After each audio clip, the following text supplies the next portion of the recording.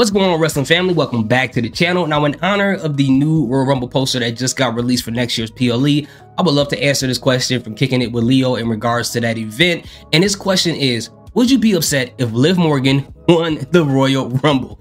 Interesting question, Leo. Interesting question. But if you don't mind, what I would love to do is expand the question out to something bigger, to the question of who do I think should win the Royal Rumble, if you don't mind. Now, before I get started, I want to thank you so much for submitting your question. I checked out your channel. I love your content. I subscribe to it. I hit the bell next to it. I am a fan.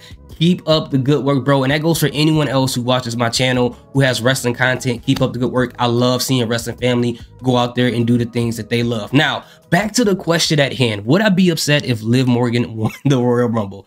Um, I wouldn't be upset. I mean, I don't really get upset or furious or really mad about a lot of this stuff. I guess I will be a nonchalant wrestling fan if you want to put me in a category, but I don't think upset would be the word. Okay. I, don't think upset would be the word. I think the words would actually be utterly confused. Okay.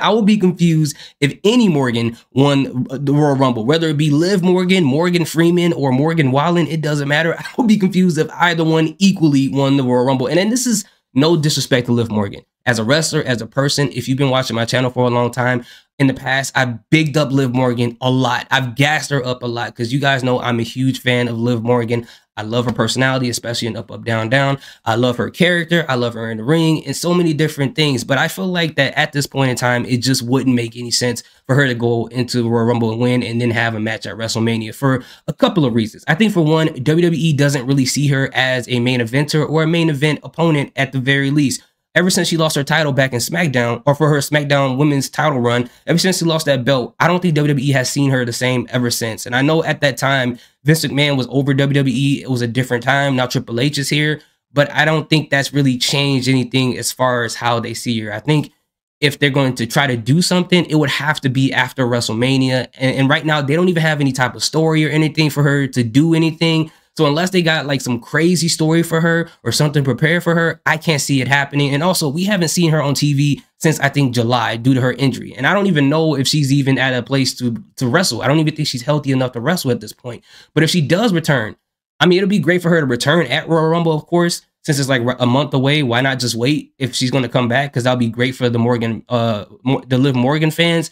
But I wouldn't be surprised if she end up being the top 10 or maybe even the top five. And then they could sprinkle some stories there and then build on that after WrestleMania, after they clear out all these different storylines they got going on at WrestleMania. Because I don't know about you guys. I feel like at WrestleMania, they're going to start tying up a bunch of these storylines there, regardless of who wins what. I think they're doing a lot of tie ups. And then, of course, some is going to continue. And I feel like Liv Morgan doesn't fit in that. Now, let's get into the bigger question. The bigger question is who do I think should win the Royal Rumble? And I think it's an obvious thing as far as the categories in which this person should fit in. Um, the first category will be the obvious whoever is going to face Rhea Ripley at WrestleMania, of course. And I think Liv Morgan doesn't fit in that category. I get that the whole storyline of what happened between them two, and you could circle it back around, but I don't think this is the time to do that. Give Liv some time. But again, that would be the first category. The second category, in my personal opinion, would be have to be somebody from Damage Control, since that whole faction is revolved around eventually having something to do with that title. So whoever wins it will have to be a person involved in that or part of that faction or possibly somebody who got kicked out of the faction. Who knows? I'll tell you guys in a few seconds. And then the third person would have to be either a new signee to WWE, whether it be Jade Cargill or if or WWE goes out there and gets Giulia from Stardom it would make sense for those who I get that, but then also it may have to be a legacy wrestler, someone who came back from the past, which probably could be AJ Lee. I would love to see that happen. I love AJ Lee. I've been I had a crush for her, for her since I was a kid, but it would be great to see that as well. So I think it would have to fit in all three of those categories or one of the three of the categories, and Liv doesn't fit in either one of them. So if you ask me who I honestly believe should win the Royal Rumble at this point in time, if you ask me, I would have to say, and I have a video, I have like booking the end of damage control. And based off of that video, at first I was thinking when I was making it, I was like, okay, maybe Bayley should win the Royal Rumble. But now that I think about it, I think their situation doesn't require someone to win the Royal Rumble to happen the way that I have booked. But that's just solely based off of that. My bias on my own booking, that's what it's on. But I think the winner of it, again, if a legacy person or a new signee doesn't win it, I think it ultimately has to be Shayna Baszler. I think 100% it has to be Shayna Baszler for a couple of reasons. For one, if you want to talk about circling around storylines, this would be an interesting way to circle back to Rhea Ripley and Shayna Baszler's uh, match back, I think, in like 2019 in NXT, where Shayna Baszler was the NXT Women's Champion and Rhea Ripley faced her as the opponent. Now, on this time, it's a flip side of it. And you know WWE, when it comes to WrestleMania, they love having these video montages with a lot of content. So between WrestleMania back into NXT in 2019, they have so much footage to put that together. And also the other thing is, if you guys watched my video before from last year or this year, I'm, I'm sorry, I predicted months in advance that I think that it's going to be Shayna Baszler versus Rhea Ripley at Survivor Series. As we see, that did not happen. But here's the interesting part. They never had a successful one-on-one match where it ended fairly on the main roster. It was always these multi-women matches. The one that they had on Raw with each other that was one-on-one.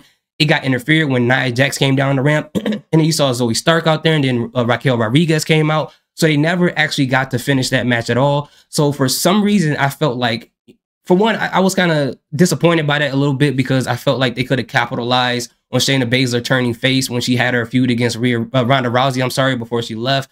Then she could have had that match at Survivor Series.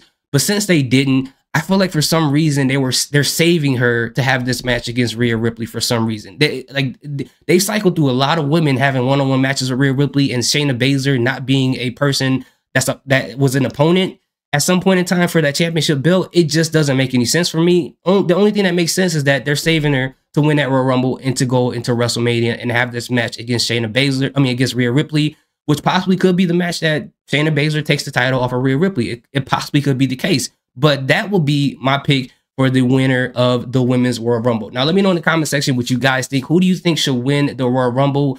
I don't know. You know, again, we're almost two months away, maybe a month or some change. Who knows what can happen on SmackDown or Raw between then and now? But right now, I'm sitting on Shayna Baszler. That sounds crazy. But anyways, thank you guys so much for watching. Salute. Peace. Have a good day.